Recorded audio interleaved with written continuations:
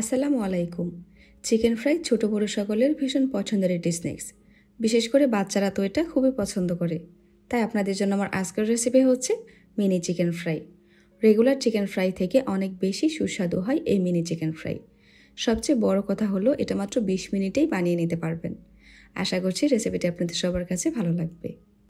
এখানে আমি তিনশো গ্রামের মতো বোনলেস চিকেন ছোট ছোট স্লাইস করে কেটে নিয়েছি। এখন এর মধ্যে দিয়ে দিচ্ছি এক চা চামচ রসুন পেস্ট, এক চা চামচ আদা পেস্ট, এক চা চামচ মরিচের গুঁড়া, হাফ চা চামচ গরম মশলা গুঁড়া, এক চা চামচ সয়া সস, হাফ চামচ লবণ আর একটা ডিম। হাত দিয়ে চিকেনের সাথে সমস্ত মশলা মাখিয়ে নিচ্ছি। এখানে ডিমটা দেওয়ার ফলে চিকেনটা ফ্রাই করার পরও ভিতরে জুসিনেসটা বজায় থাকবে।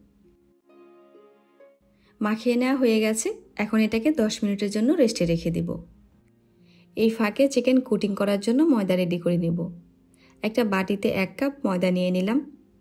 এখন এর মধ্যে দিয়ে দিচ্ছি হাফ চা চামচ মরিচের গুঁড়া, হাফ চা চামচ মিক্স হার্ব আর হাফ চা চামচ লবণ। একটা হ্যান্ড উইক্সের সাহায্যে সব কিছু একসাথে মিশিয়ে নিব। এদিকে দশ মিনিট পর চিকেন খুব ভালোভাবে ম্যারিনেট করা হয়ে গেছে। যেহেতু এগুলো যথেষ্ট ছোট ছোট করে স্লাইস করা হয়েছে। এখন এখান থেকে কয়েক পিস নিয়ে ময়দার উপর বিছিয়ে দিচ্ছি। যেহেতু এগুলো ছোট ছোট, তাই একটা একটা করে না করে বেশ কয়েকটা স্লাইস একসাথে নিয়ে এইভাবে কুটিং করে নিচ্ছি।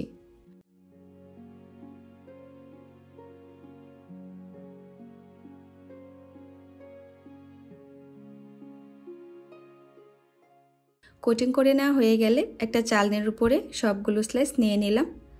এখন হালকাভাবে একটু ঝাঁকি দিয়ে বাড়তি ময়দাটুকু ফেলে দিচ্ছি। তো একটা ব্যাচ ভাজার জন্য রেডি হয়ে গেল। চুলায় একটি প্যান বসিয়ে পর্যাপ্ত তেল গরম করে নিয়েছি। এখন চিকেনের স্লাইসগুলোকে তেলের মধ্যে দিয়ে দিচ্ছি। চুলার আঁচটাকে মিডিয়ামে রেখে এগুলোকে ফ্রাই করে নিব।